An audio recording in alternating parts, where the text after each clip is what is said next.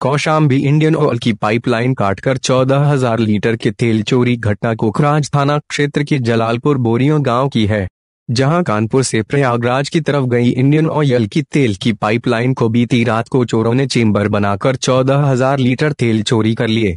कुखराज थाना क्षेत्र के जलालपुर बोरियों गाँव के सामने चोरों ने शिव भूषण के खेत में पाइपलाइन काटकर घटना को अंजाम दिया। गुरुवार की सुबह तेल के रिसाव जानकारी जब इंडियन ऑयल के अधिकारियों को हुई तो वे हम मौके पर पहुँचे। देखा कि जलालपुर बोरियों गाँव के सामने शिव भूषण के अरहर के खेत में सैकड़ों लीटर तेल भरा हुआ था। कर्मचारियों ने जब रिसाव वाले जगह पर देखा तो एक चेम्बर बनाया गया था, जिसमें बीस बोरी में मिट्टी भरकर चेम्बर को ढका गया था, जिसमें से रिसाव होने के कारण खेत में सैकड़ों लीटर तेल जमा हो गया। अधिकारियों ने कड़ी मशक्कत के बाद रिसाव को बंद किया और जेसीबी से खोद कर देखा तो मोटे पाइपलाइन में दो इंच का पाइप बिल्डिंग पर जोड़ा गया था। इंडियन ऑयल के इंजीनियर नितिन सिंह ने बताया कि बगल में लगे ट्रांसफार्मर से लाइट की व्यवस्था कर यह सब किया गया होगा।